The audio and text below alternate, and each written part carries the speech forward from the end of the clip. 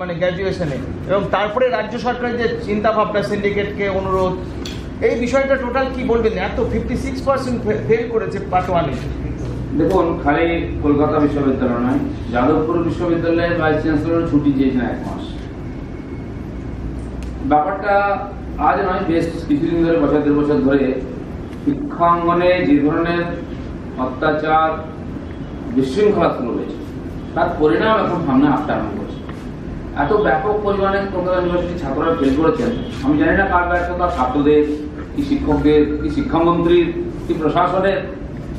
দোষ জারি হোক, ধীরে ধীরে পুরো সিস্টেমটা বসে যাচ্ছে। শিক্ষা ব্যবস্থার অন্তর্জায়ী যাত্রা শুরু হয়ে গেছে। মুখ্যমন্ত্রী, শিক্ষামন্ত্রী কেউ থেকে বাঁচতে পারে না।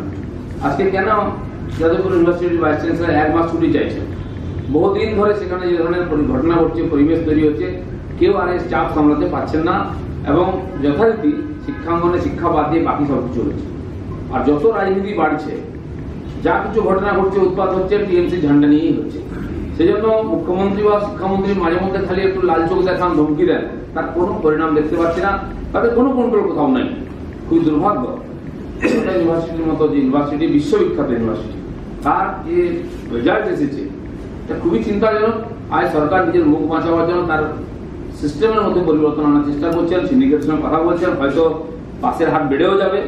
কিন্তু এই যে কোয়ালিটি শিক্ষা, এটা কোন দিকে নিয়ে যাচ্ছে আমাদের ভবিষ্যৎ প্রজন্মকে, এটা আমাদের চিন্তা করার দরকার আছে। বিভিন্ন কলেজে শিক্ষার পরিবেশ নষ্ট হয়ে যাচ্ছে।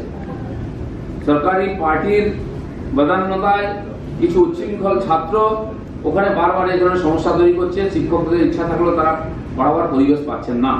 সেই জন্য শিক্ষা ব্যবস্থা যদি নষ্ট হয়ে যায়, তাহলে পুরো বাংলায় ডুবে যাবে একদিন। এমনিতেই আমাদের পশ্চিমবঙ্গ থেকে আইএস আইপিএস বেরোনো অনেকদিন বন্ধ হয়ে গেছে। আইএস আইপিএস আমাদের অন্য রাজ্য থেকে ধার করে আনতে হচ্ছে। যতজন এখানে এডমিনিস্ট্রেটিভ জিএসপি আর ডিএম দেখুন, বা এসডিপিও এসডিও যারা র্যাঙ্কের অফিসার হন, বেশিরভাগ দেখুন নন বেঙ্গলি কারণটা কি? সিপিএম আমল থেকে এই সমস্যা শুরু হয়েছিল, সেটা আজকে ব্যাপকতা লাভ করেছে। আমার মনে হয় দু এক বছরের মধ্যে পুরো শিক্ষা ব্যবস্থাটা কলাপস হয়ে যাবে।